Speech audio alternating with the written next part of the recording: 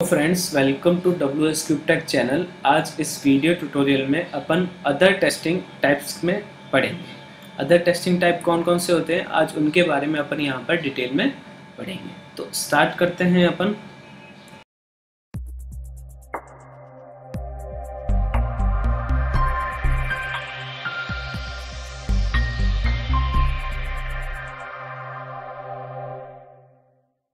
ये three types की testings होती है, जिनके बारे में आज अपन पढ़ेंगे। फ़र्स्ट है अपनी परफॉर्मेंस टेस्टिंग सेकंड है अपनी यूजेबिलिटी टेस्टिंग और थर्ड है अपनी UI testing UI means user interface testing start करते हैं अपन फ़र्स्ट पार्ट से। परफॉर्मेंस टेस्टिंग परफॉर्मेंस टेस्टिंग क्या होती है? व्हाट इज़ द रेस्पॉन्स आपकी एप्लीकेशन का क्या रेस्पॉन्स है, वो अपन परफॉर्मेंस टेस्टिंग में चेक करते हैं। इस परफॉर्मेंस टेस्टिंग के फोर पार्ट्स होते हैं। अपन फ़र्स्ट पार्ट देखते हैं कौन सा होता है।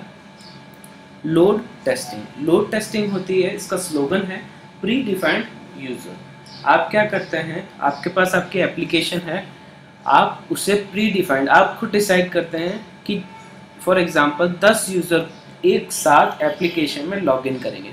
ये क्या हो गया? प्री डिफाइंड हो गया। 10 यूज़र आप 10 यूज़र का डेटा प्रोवाइड कराएँगे एप्लीकेशन को और उसका क्या चेक करेंगे?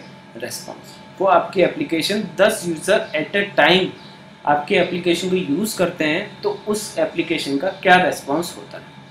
सेकेंड पार्ट आता है इसमें स्ट्रेस टेस्टिंग नाम से पता चलता है स्ट्रेस इसके लिए स्लोगन है ओवरलोडिंग ऑफ़ यूज़र्स आप 10 यूज़र को एक साथ काम करा रहे थे, अब 10 की जगह 20 यूज़र एक साथ आपकी एप्लीकेशन में लॉगिन करेंगे, तब आप क्या चेक करेंगे उसका रेस्पॉन्स 20 जब एक साथ यूज़र लॉगिन करेंगे, तब आप उसका एप्लीकेशन का रेस्पॉन्स चेक करेंगे.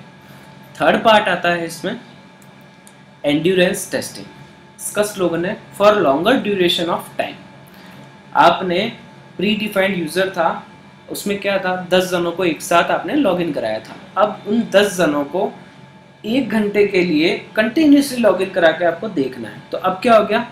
ये टाइम आ गया आपका। ड्यूरेशन आ गया। इस ड्यूरेशन के बीच में आपको क्या करना है? आपकी एप्लीकेशन का रेस्पॉन्स चेक करना है। नेक्स्ट पार्ट है इसका।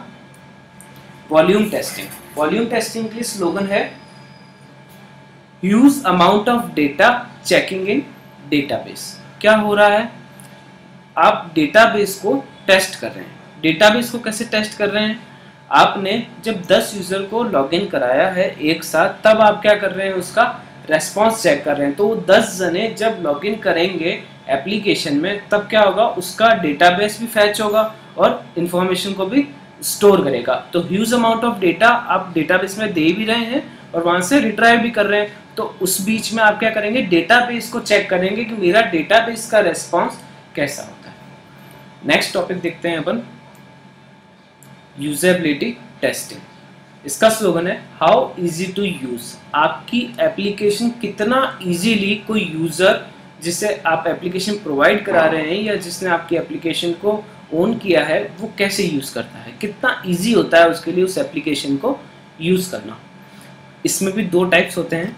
फ़र्स्ट टाइप देखते हैं अपन accessibility testing easy to access आपकी एप्लीकेशन कितनी इजी है किसी भी यूज़र को यूज़ करने के लिए? फॉर एग्जांपल आपने एक फ्लिक स्क्रीन बना दिया स्क्रीन का पैनल बना दिया आपकी एप्लीकेशन के स्टार्ट में। तो अब क्या होगा? फ्लिक स्क्रीन से क्या होगा? कोई नया यूज़र आएगा तो क्या करेगा? फ्लिक स्क्रीन पर देख सकता है कि आप, आपकी एप्लीकेशन क्या क्या प्रोवाइड करवाने वाली है। तो वो क्या हो गया?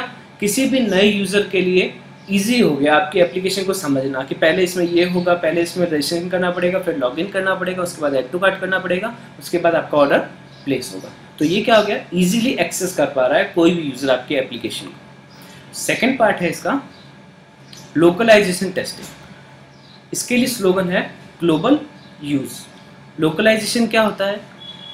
अपन सिंपल सा यूट्यूब का एग्ज़ाम्पल लेते हैं। ग्लोबली यूज़ है यूट्यूब आप इसे यहाँ पर यूज़ कर रहे हैं राजस्थान में तो ये आपको हिंदी लैंग्वेज प्रोवाइड करा रहा है।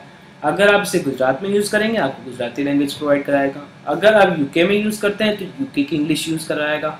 अगर आपको यूएस में यूज़ करना है तो आपको यूएस की लैंग्वेज प्रोवाइड कराएगा। तो उससे क्या होता है, आपका यूट्यूब चैनल है, ये पूरा ग्लोबली यूज़ है। इसे कोई भी, किसी भी लैंग्वेज में एक्सेस कर पा रहा है। तो आपकी एप्लीकेशन में भी क्या होना चाहिए, ये फीचर होना चाहिए। जैसे आज राजस्थान में तो राजस्थान की लैंग्वेज यूज़ करेंगे, हिंदी। आप गुजरात में जाते हो, आपकी एप्लीकेशन लॉन्च हो रही है, कोई गुजरात का यूज़र उसे यूज़ कर रहा है तो वो गुजराती लैंग्वेज में होनी चाहिए। मीन्स लोकलाइजेशन की लैंग्वेज उसमें डिफ़ॉल्ट होनी चाहिए, ताकि कोई भी, किसी भी सिटी का यूज़र उसे इजीली अपनी लैंग्वेज में यूज़ कर सके। नेक्स्ट टॉपिक देखते हैं अपन। UI testing look and feel of application look and feel मैंने बताया था user interface look and feel आप इस डायग्राम को देखिए। इसमें क्या है, बहुत सारी टाइल्स बनी हुई है कलरिंग टाइल्स बनी हुई है।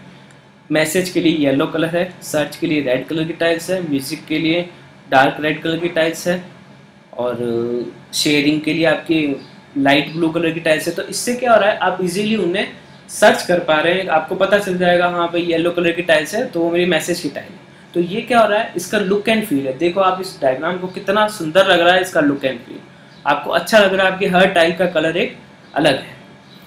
अब देखते हैं यूआई टेस्टिंग के पॉइंट्स क्या होते हैं। फ़र्स्ट पॉइंट होता है इसमें टेक्स्ट बॉक्स आप टेक्स्ट बॉक्स को कलर कर सकते हैं जिससे आपकी एप्लीकेशन अच्छी लगेगी। सेकंड है इसमें रेडियो बटन्स आप क्या कर सकते हैं? आपकी एप्लीकेशन में रेडियो बटन्स प्रोवाइड कराइए। तो उससे क्या होगा? लुक एंड फील आपका बेटर होगा। थर्ड पॉइंट है इसमें ड्रॉप डाउन लिस्ट जैसे फॉर एग्जांपल आप कंट्री कोड डाल रहे हैं तो कंट्री में आप क्या करें, एक ड्रॉप डाउन की लिस्ट प्रोवाइड कराएँ, उसके अंदर आप कंट्री का सिलेक्शन ऑप्शन रखिए। उससे क्या होगा यूज़र को बहुत सारी कंट्रीज़ दिखेंगी तो आपकी एक ड्रॉप डाउन लिस्ट ओपन होगी तो ड्रॉप डाउन क्या करता है, एक लुक को बढ़ाता है।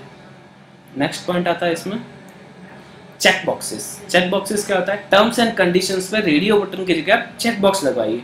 उससे क्या होता है, उसके ऊपर एक राइट क्लिक होगा तो वो आपका क्या करता है एप्लीकेशन के रेस्पॉन्स को लुक एंड फील को बहुत इम्प्रूव करता है।